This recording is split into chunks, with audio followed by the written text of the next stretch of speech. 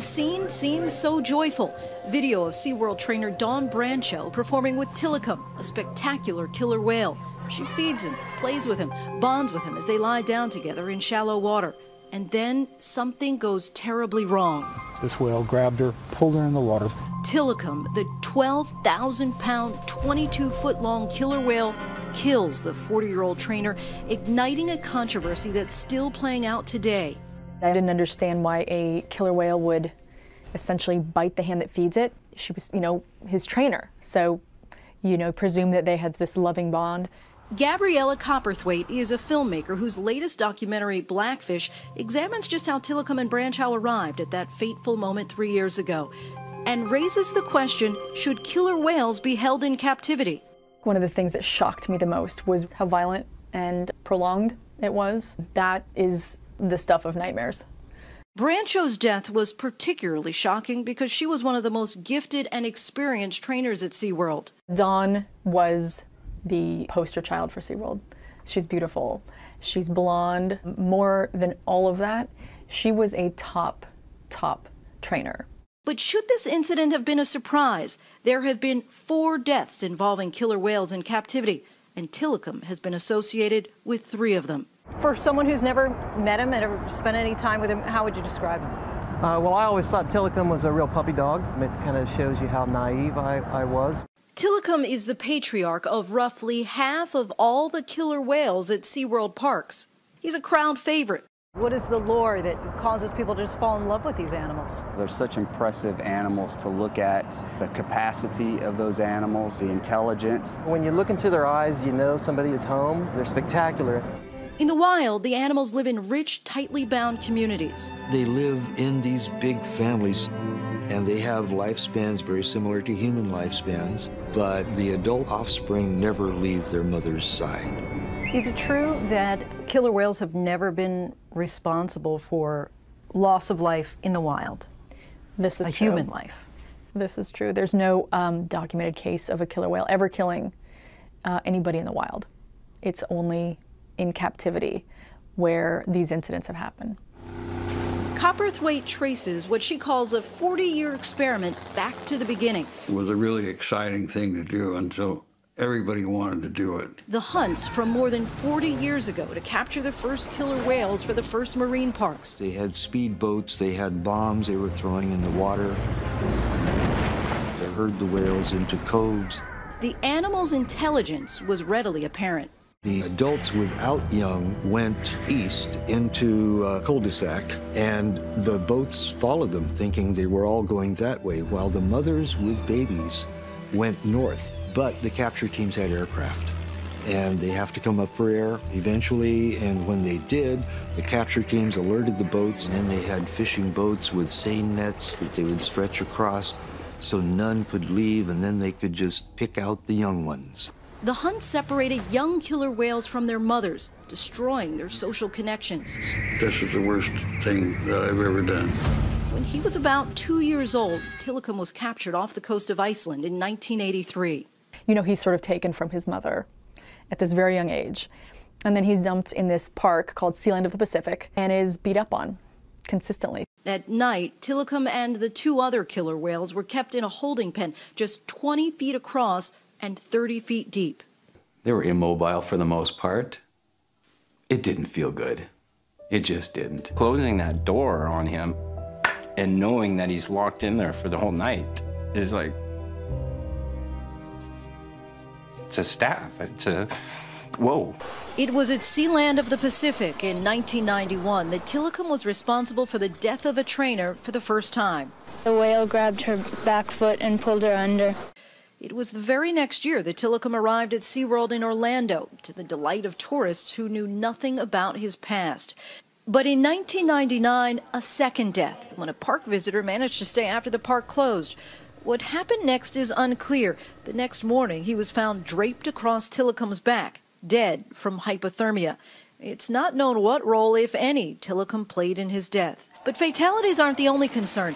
The very behavior of a killer whale isn't 100% predictable. From 1988 to 2009, before Dawn Brancheau's death, SeaWorld generated 100 incident reports of killer whales engaging in undesirable behavior, including nearly a dozen that involved injuries to trainers. Swimming with 8,000 pound killer whales, as a human being, our bodies are not designed to do that. But then you would also have injuries related to aggression with the whales for sure. In one incident, the trainer made the mistake of putting her foot on and off a killer whale. Watching the video, knowing Orkid, your stomach drops because you know what's probably going to happen. She grabbed her foot. You see her just ripped from the gate. You hear her just scream out, Somebody help me. The trainer was eventually released, but not before having her arm badly broken. She's very lucky to be alive, that's for sure. Tragically, Dawn Brancheau did not have a similar outcome. She talked about her whole life. She knew she wanted to work with the animals, and SeaWorld was her dream. We embarked on this sort of 40 year experiment here, the Marine Park experiment. But I think the results of this 40 year experiment are that um, we can just never, ever truly give them what they need and that it's actually very dangerous for us to try. The government agreed. In the wake of Brancheau's death, OSHA undertook an investigation of the incident and ordered SeaWorld to keep trainers further away from killer whales, even placing them behind barriers, ending the intimate and dramatic acrobatic work that once thrilled audiences. SeaWorld continues to appeal the decision and says OSHA has a fundamental misunderstanding of how to properly and safely care for and work around these animals. SeaWorld says they were deeply saddened by the death of Brancheau and that since 2010, the company has voluntarily implemented significant changes to the training protocols for its killer whale program that have proven to be safe and effective. SeaWorld believes that marine parks play a crucial role in society, Displaying marine mammals like killer whales provides an invaluable educational resource to the public. They point out that 11 million people visit SeaWorld parks each year, and they hope each leaves with a greater understanding of these remarkable animals and the challenges they face in an increasingly imperiled marine environment. Even Cowperthwaite says she doesn't want to see SeaWorld close down, just change. I think that they have uh, the financial resources to be able to sort of shift this whole marine park circus like environment uh, into one of education. With summer's arrival, thousands of visitors will be coming to SeaWorld in Orlando, thrilled at the sight of Tilikum performing in captivity, as he has for the past 21 years.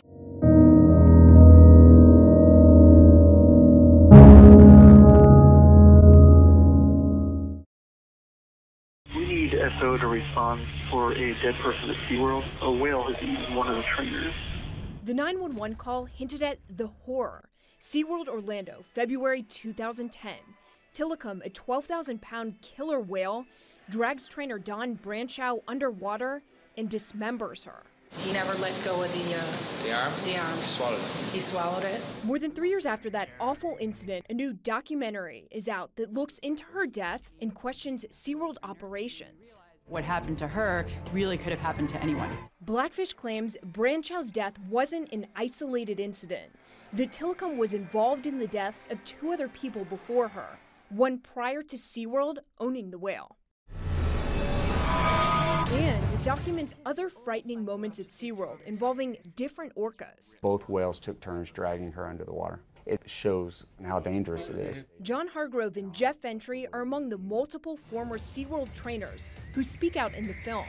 They're accusing SeaWorld of putting profit ahead of trainer safety, and they now believe confining killer whales for a lifetime is cruel. Captivity definitely, without a doubt, increases the stress level of these animals, and stress leads to frustration. Frustration leads to aggression. We now know that they live in such strong nuclear families. To pull them out of that environment for human entertainment is basically old school. The film contains what it says is archival video of young orcas captured in the wild to populate SeaWorld. It's heartbreaking. Every time you see it, it just you know, tears your heart out. The film shows what it says are images of whales born in captivity at SeaWorld being forcibly separated from their mothers. Ex trainer Carol Ray told me she saw it happen once and can't forget the mother's reaction. The screaming and crying that she did by herself in the pool that, that night, I cried on my way home. The filmmakers say SeaWorld declined repeated requests for an on camera interview. Same for us at CNN, but in a lengthy statement provided, SeaWorld blasted the film as, quote, shamefully dishonest, deliberately misleading, and scientifically inaccurate.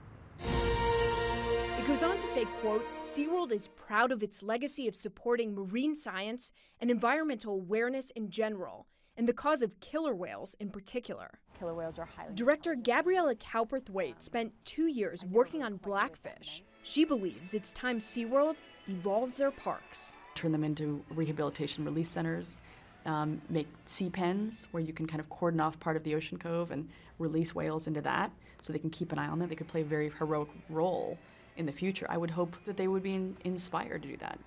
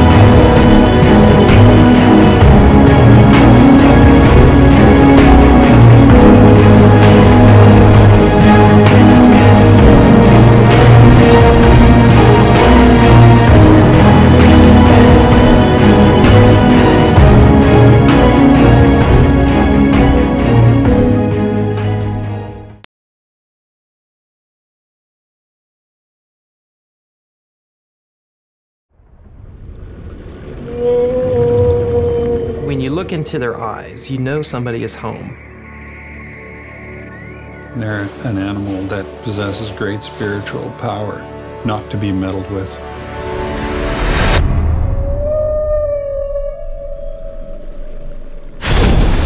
Orange County Sheriff's Office. We need SO to respond for a dead person at SeaWorld. A whale has eaten one of the trainers. Tilikum is the one that went after her. Dawn is the senior trainer here at Shamu Stadium. She captured what it means to be a SeaWorld trainer, that it made me realize what happened to her really could have happened to anyone. I've been expecting somebody to be killed by a Tilikum. We weren't told much about it, other than it was trainer error. It didn't just happen. It's not a singular event. You have to go back to understand this. The speedboat herded them in, and they could just pick out the young ones. This is the worst thing that I've ever done. When Tilikum arrived at SeaWorld, He was twice as large as the next animal. We stored these whales in what we call a module, which was 20 feet across and 30 feet deep, and the lights were all turned out. Probably led to what I think is a psychosis. All in captivity are all psychologically traumatized. It's not just Tilikum. If you were in a bathtub for 25 years, don't you think you'd get a little psychotic? Dawn would tell you that it was her mistake. They blamed her. It's just a bold faced lie. I was just instructed to get rid of the tape. The industry has a vested interest in spinning these. That sells a lot of Shamu dolls, it sells a lot of tickets at the gate. There's no record of an orca doing any harm in the wild.